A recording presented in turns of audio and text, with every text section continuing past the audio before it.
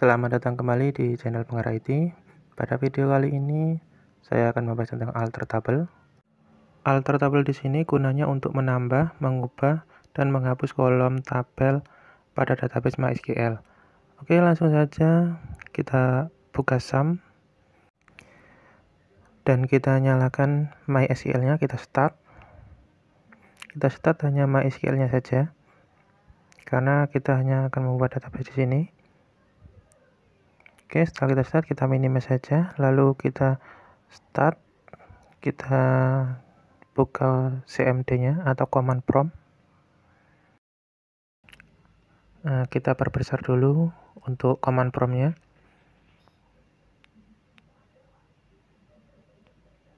Oke, pertama kita masuk ke database MySQL-nya dengan CMD. Pertama, kita klik ketikkan cd titik dua kali kemudian cd kembali titik dua kali. Lalu cd sum. Kemudian cd mysql. Kemudian cd bin yang terakhir mysql. U root enter nah sekarang mysql dan cmd nya sudah terkoneksi. Oke langsung saja. Pertama kita ketikkan show database untuk melihat database apa saja yang telah kita buat. Di sini ada DB siswa dan yang lainnya. Di sini saya akan menggunakan DB siswa yang telah kita buat pada tutorial sebelumnya. Oke, sekarang kita ketikkan use DB siswa untuk menggunakan DB siswa. Lalu kita perintahkan show tabel. Ya tabel apa saja yang sudah kita buat. Dua. Nah di sini sudah ada tabel siswa. Sekarang kita ketikkan DESC siswa untuk melihat struktur tabel dari siswa. Nah di sini ada NISN nama siswa kelas dan alamat. Untuk tipe datanya integer varchar integer varchar seperti yang bisa dilihat Oke, sekarang kita akan mencoba untuk menambahkan kolom pada tabel di atas. Uh, pertama, beritanya ada alter tabel, lalu nama tabel, lalu kita enter. Kemudian add kolom untuk menambah kolom baru. Lalu kita tambahkan kondisi if not exist. Kemudian kita ketikkan telepon. Lalu tipe datanya integer. Lalu kita enter. Nah maka telepon berhasil dibuat. Oke untuk melihatnya kita kasih perintah DESC siswa. Nah di sini telepon sudah pertama pada tabel siswa. Perintah alter tabel seperti ini itu gunanya untuk menambahkan kolom pada akhir tabel. Nah, sekarang di sini saya akan contohkan untuk menambah kolom pada kolom pertama sebelum NISN.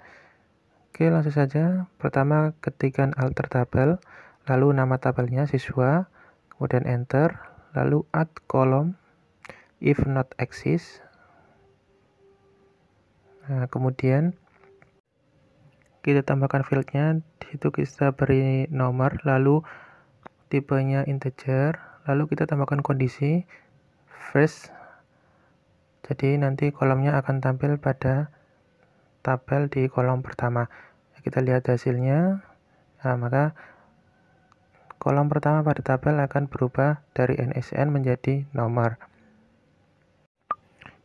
Oke sekarang akan saya contohkan kembali cara menambah kolom pada tabel siswa Nah, di sini untuk penempatannya posisinya sesuai kebutuhan. Nah, di sini saya akan membuat kolom baru di bawah di bawah kolom siswa. Oke, langsung saja kita ketikkan alter tabel, lalu nama tabelnya, add kolom if not exist. Kemudian nama fieldnya, tempat lahir, Lalu tipe datanya varchar 35 not null. Untuk definisinya jadi datanya tidak boleh kosong. Kemudian kita tambahkan kondisi after nama siswa. Oke enter. Oh di sini error karena eksisnya s-nya kurang satu. Oke kita perbaiki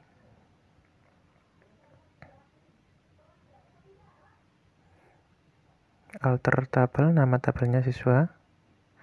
Kemudian add column if not existnya kita tambahkan s nya lalu sama seperti tadi tempat lahirnya tipe datanya nah berhasil. Sekarang kita lihat hasilnya. DESC siswa. Kita enter. Nah maka tempat lahir sudah kita buat di bawah nama siswa sesuai dengan kondisi untuk kondisinya bisa kalian kalian sesuaikan sesuai kebutuhan kalian. Nah, itulah tadi cara-cara untuk menambah kolom di CMD MySQL. Oke, sekarang kita akan coba mengubah kolomnya. Oke, di sini saya akan mengubah telepon. Di situ telepon tipe integer, lalu definisinya nulnya yes. Kita ubah untuk mengubah kolom, di sini ada dua cara. Yang pertama dengan change dan yang kedua dengan modify. Di sini saya contohkan untuk yang change terlebih dahulu. Ini alter tabel siswa, lalu change telepon, lalu namanya kita ganti TLP, kita singkat saja. Lalu tipe datanya tetap integer, lalu untuk definisinya not null, jadi tidak boleh kosong. Oke, berhasil. Teleponnya akan menjadi TLP untuk definisinya jadi not null. Oke kita lihat hasilnya di ESC siswa. Ntar, nah di sini kita lihat. Untuk teleponnya namanya sudah berubah disingkat. Kemudian untuk nulnya atau definisi nulnya menjadi no oke sekarang saya akan contohkan untuk mengubah kolom untuk yang kedua dengan modify Oke, langsung saja. Kalian bisa lihat tabel yang ada di atas sebelum kita ketinggalan coding. Di situ tempat lahir sudah ada di bawah kelas. Itu tadi saya sudah rubah. Untuk sekarang kita rubah kembali untuk tempat lahirnya di atas kelas dan di bawah nama siswa. Oke. Yang pertama alter tabel siswa. Untuk modifinya tempat lahir. Yang pertama tipenya varchar kita jadikan char. Kemudian afternya setelah nama siswa. Oke kita lihat hasilnya di SC siswa. Nah di situ tempat lahirnya sudah ada di bawah siswa. Untuk definisinya karena kita tidak tambahkan not null tadi maka definisinya menjadi yes. Untuk tipe datanya berubah menjadi karakter 35 Oke, untuk yang selanjutnya, untuk menghapus kolom dengan alter tabel, saja untuk kodenya alter tabel siswa. Di sini saya akan contohkan untuk menghapus tempat lahir.